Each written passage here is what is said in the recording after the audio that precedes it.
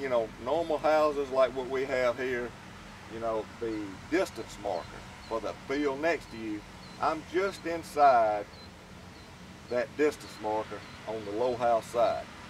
Now, when I come here, I've got some turn in my hips, so when I relax, the gun automatically goes.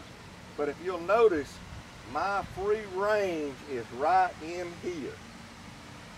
And that's where I want to break these targets. The low house, bam. The high house, bam. It's all right in this, in this 15 to 20 foot area here. But I, with this foot position, I have got enough turn that I can come all the way back to the out of bounds marker. If I'm shooting it at the out of bounds marker, it better be something wrong with the target. It's something's done happened that has caused me to carry it this far. And if I got to carry it past that out of bounds marker, it's supposed to be lost anyway. Even though most of the time the referees will not take it away from you. So when I turn this far, you know, I want to, it's pretty well lining me back up with my hold point. But just so everyone knows, you want to get used to your body mechanics or your feel of your motion in these turns. When you get used to those things, then you can start adjusting your foot position and move your break point around some. You can also move your hold point in or out a little bit, but hold points are more about reaction time.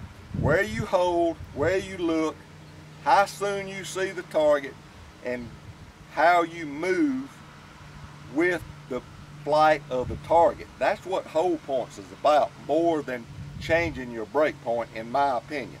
Foot positions change your break point. Your hold point can have an effect if you're off on it too much, you know. Most people think, okay, I want to break the target quicker, I'm going to move my hold point in. Well, that's exactly backwards. If you want to break it quicker, you move your hold point out. The problem is you got to get used to that uh, hold point and you're going to make you're going to have to wait on the target longer and you're going to have to make a quicker move.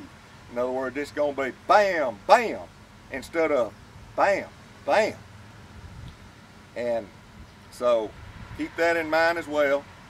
I'm Allen McCannon. I hope everyone got a little something out of this. Good day.